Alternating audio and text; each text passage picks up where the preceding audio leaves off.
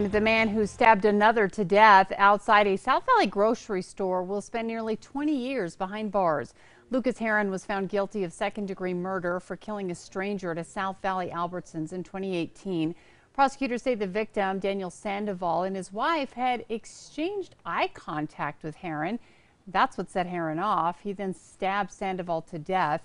His attorney argued it was self defense. The state argued Heron didn't need to approach the victim at all that his first instinct, his first coping mechanism is to pull out a weapon on someone. And because of that, the state is asking the court to impose the maximum sentence. Judge Brett Loveless ruled Heron would serve 19 and a half years for second degree murder, tampering with evidence, and contributing to the delinquency of a minor. The state had asked for a sentence of 22 years.